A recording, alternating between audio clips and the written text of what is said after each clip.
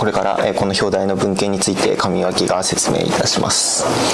はい、えっと、初めにアブストラクトです。あの過去10年間、まあ、テキストから感情曲線を抽出するために、まあ、多くの研究がされていて、最近だと、まあ、テキストから感情認識っていうものもだんだんできるようになってきているそうです。で、えっと、英語のワードネットを活用して既存の感情辞書を拡張して M ワードネットを、まあ、構築するといった内容の文献でしてで最終的に構築したものは、まあ、約6万7000語が収録されているというものです。で次にイントロダクションです。SNS のユーザー増えたことによって大量の意見や、まあ、感情が含まれたテキストが使えるようになってます。で感情辞書は感情分類モデルの、まあ、精度向上に寄与していてで感情は、まあ、通常ポジティブネガティブニュートラルっていうこの産地で表されたりあとは、えっと、エクマンの感情分類っていうあの有名な感情分類があるんですけどその分類で6分類。や、えっと、このプリチックのモデルによると、えっと、エクマンの感情分類に加えて信頼と期待が含まれている8つの感情分類になったりしています。で次にえっとまあ、英語で大規模な感情辞書を作成する研究は多くあったんですけど今までこの既存の感情辞書っていうものはあの大きくできなくて、まあ、小さいままです。で、えっとまあ、感情辞書の例としては、まあ、英語で最大の感情辞書としてちょっと読み方わかんないんですけどこちらの感情辞書やあとセンチメントワードネットっていうこの2つがあります。で、えっと、まあ本研究ではあの英語のワードネットを活用してあのシソーラスの情報から、まあ、既存の感情辞書をさらにこう自動で拡張してあげようっていう内容です。はい、で、えっと、なんでこの感情辞書を、えっと、拡張するかっていうとあの英語のワードネットと、まあ、この成功が取れているという点で拡張しやすいというのが挙げられています。テーアプローチです。この感情辞書はまそれぞれのエントリーに8つの感情ラベルというものが振られていましてそのラベルがこちらになってます。でそれとともにポスタグとあと3700 3万7771、えっと、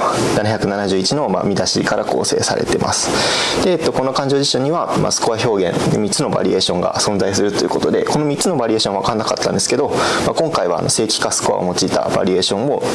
選択して、えっと、アプローチするということでした。で、えっと、こちらがあのアプローチの図となってましてステップ1として見出し語がワードネットに含まれているかどうかを検索してそこからあの先ほどの正規化スコアっていうものを計算して、まあ、複数の見出し語がある場合はそれらの平均をスコアとして付与しているということです。で、えっと、ステップ2として、えっとまあ、感情辞書に含まれている語か、え含まれていない語かっていうものを、判定してもし含まれていたら、えっと、さらにこう検索していってそれらの平均がスコアとして付与されるということでした。で、まあ、ステップ3として、まあ、ステップ2が終了したら新たに同義語を探してそれを繰り返していくことによって、まあ、最終的にスコアが収束したら、えっと、その単語の、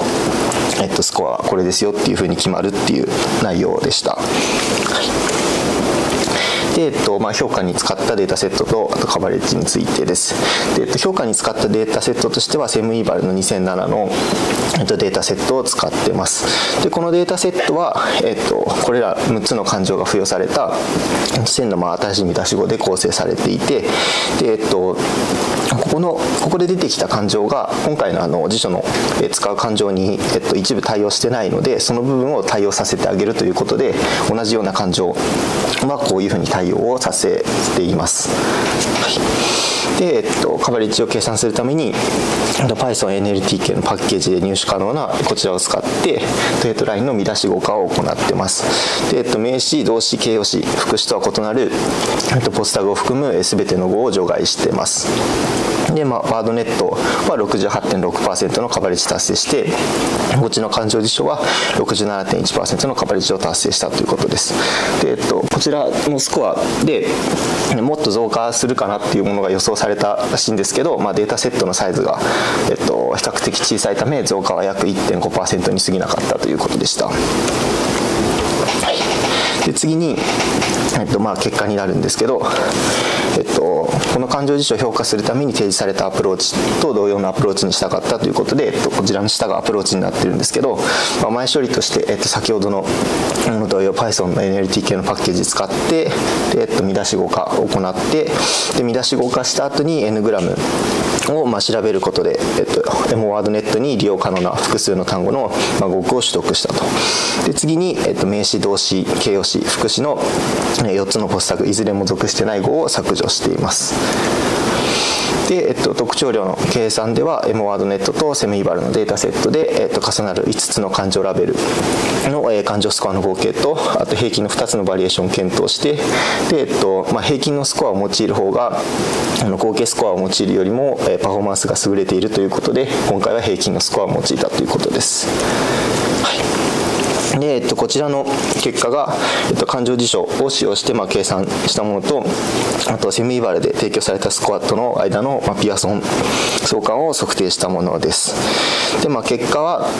お互いに数値が近いことが分かっていてで、えっと、今回のエモハートネットの方がスコアが多少優れているということでした、で次に、えっと、分類タスクのために、えっとまあ、数値をバイナリー表現にしてで、えっと、感情スコアにミンマックスの正規化を適用して、まあ、スコアが0.5より大きいものは1で0.5以下またはそれ以外のものは0というスコアを割り当ててます。で、えっと、まあ評価のために F1 の、まあ、スコアやって、えっと、その結果になってるんですけど、まあ、M ワードネットを使用した場合回帰タスクと比較して、まあ、分類タスクで顕著な改善が見られたということが書いてありました。はい。えっと、こちらの表算が、まあ、正しく、えっと、辞書を用いて分類された結果で、まあ、こちらの、えっと、表4が、えっと、間違って分類された結果のものとなっています。で、えっとまあ、両方合わせて見てほしいんですけど、えっと、4番目、えっと、表4が、えっとまあ、誤って、えっと、出力されたものでこれの2番目と5番目の例のように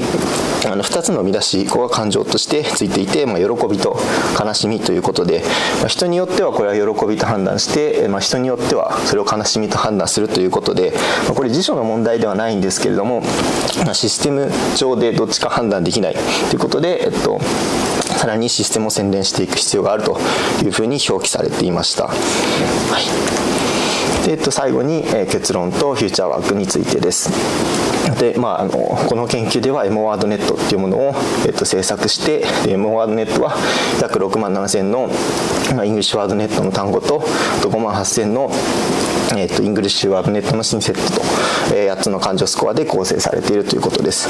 で、 EmoWordNet は、えーと、 English WordNet と、えー、まあ、既存の感情辞書を使用した意味拡張アプローチを適用することによって自動で構築しています。で、 EmoWordNet は、まあ、あの既存の感情辞書より優れていて、より優れたあの語彙カバレッジを持っていると。将来的には、まあ、より大きなデータセットで、この EmoWordNet のパフォーマンス評価して、認識モデルの精度を向上させたいということでした。で、えっと、M ワードネットは、あとまあこちらの URL で現在公開されているということです。はい、以上で終わります。